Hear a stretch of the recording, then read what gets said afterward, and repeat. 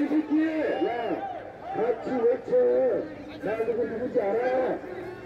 같이 가. 그렇게 뭐. 야, 니들 오빠가 누군지 안다고 선물을 시킨 것도 아무 말안 할 테니까 시진핑 개새끼한테 같이 개새끼.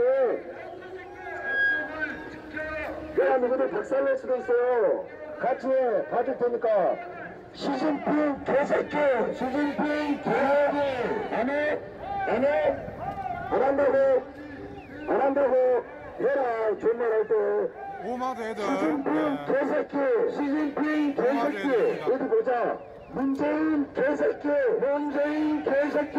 문재인 개새끼! 문재인 개새끼! 이거를 안 하면서 지금 정치, 정치인들하고 주려했다고 주장할 수 있어?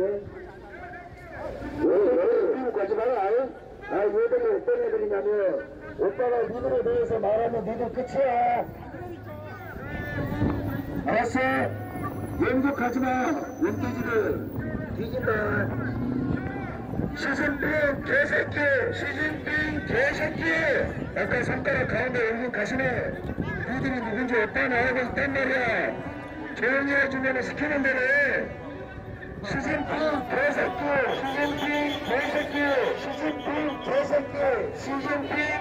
개새끼! 시진핑 개새끼! 시진핑 개새끼!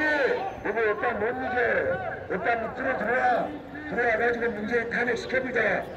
문재인을 탄핵하라!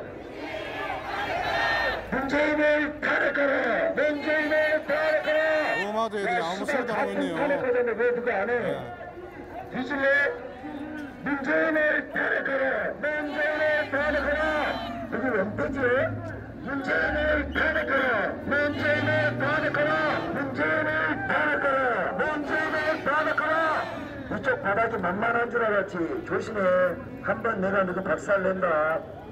문재인을 탄핵하라! 문재인을 탄핵하라! 문재인을 탄핵하라! 문재인을 탄핵하라! 문재인을 탄핵하라! 문재인을 탄핵하라! 5,200만 대한민국 국민이 묻습니다. 5,200만 국민들의 숨쉴 권리조차 지키지 못하는 문재인이 과연 대통령이라고 할 수 있겠습니까? 이거 사이코패스 새끼거든요. 자, 그 새끼하고 시진핑의 관계를 물어야 합니다. 왜 대한민국 국민들에게 책임을 돌립니까? 우리 대한민국 국민들은 대한민국 국민의 숨쉴 거지를 위협하는 중국 공산당 수계 시진핑 개새끼 시진핑